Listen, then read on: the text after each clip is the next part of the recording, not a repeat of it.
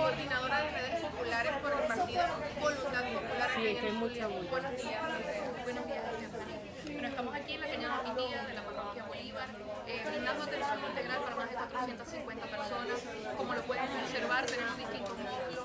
Y en nuestro primer módulo... No, pero a mí no me lo marca en ambiente, lo marca para explicarle un poco a esa mamá que se encuentra desesperada porque no consigue alimentos para sus hijos, eh, cómo puede darles más provecho o cómo pueden ser más nutritivos para ellos. Posterior a esto tenemos atención médica con algunos medicamentos básicos este, y atención prehospitalaria, pues eh, hemos tenido casos donde hemos remitido a algunos hospitales casos de desnutrición severo, como casos de hipertensión arterial sumamente elevados, niños desmayados por distintas patologías. Eh, lo más recurrente puede ser este, afecciones en la piel respiratorias y por supuesto el grado de desnutrición.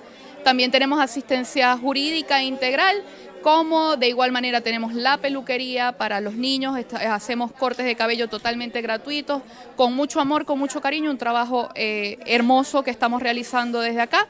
Y el último módulo de, nuestra, de nuestro campamento de Rescate Venezuela es el Sancocho Popular, que ofrecemos para más de 400 niños, eh, prioritariamente para niños y adultos mayores, pero se los ofrecemos a toda la comunidad.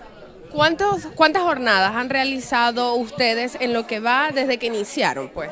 Hasta el día de hoy llevamos 18 jornadas y seguiremos eh, a lo largo de este mes en distintos puntos del estado Zulia y parroquias de Maracaibo para poder seguir llevando esta mano amiga, para poder seguir llevando amor, esperanza y el mensaje de que sí se puede, de que necesitamos el canal humanitario para poder seguir asistiendo a nuestro pueblo porque hoy en Venezuela la gente muere por desnutrición, hoy en Venezuela la gente muere porque no tiene dinero para conseguir un medicamento.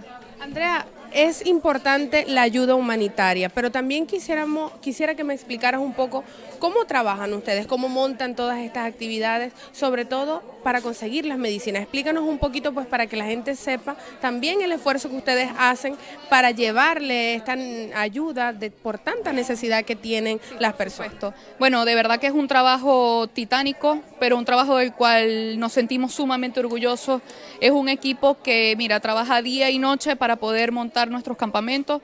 Es un equipo que sale, pese a las circunstancias, a conseguir a acudir a la solidaridad, por supuesto, un equipo que está encabezado por nuestro hermano Lester Toledo, eh, Toledo que desde, mira, desde el exilio se ha montado a conseguir ayuda humanitaria, a conseguir insumos eh, para que nosotros podamos brindarle a nuestro pueblo.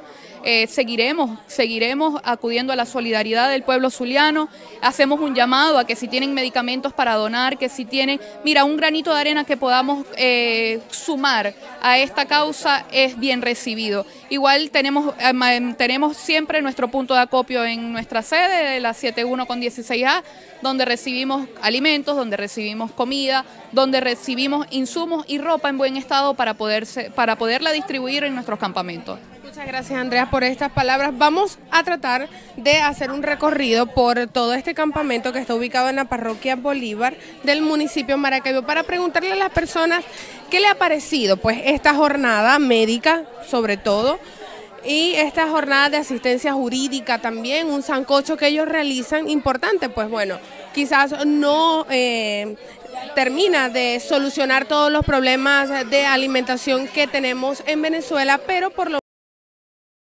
menos están viendo que hay un grupo que está haciendo algo por la sociedad, que está construyendo ciudadanos y que está construyendo valores. Vamos a buscar por acá la opinión de alguien que pueda decirnos. Buenos días, señora. Su nombre, por favor. Mi nombre. Lisa Raposo. ¿Qué le ha parecido esta actividad? ¿Ah? ¿Qué le ha parecido esta actividad? ¿Qué tiempo?